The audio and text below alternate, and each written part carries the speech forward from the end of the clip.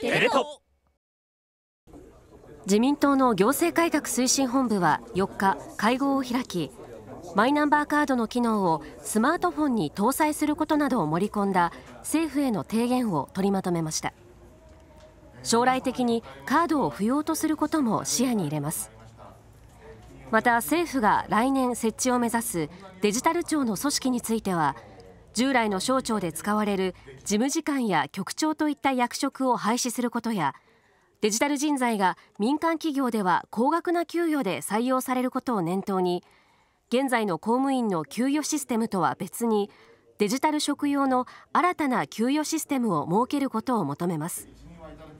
行革本部はこの提言を近く官邸に申し入れることにしています。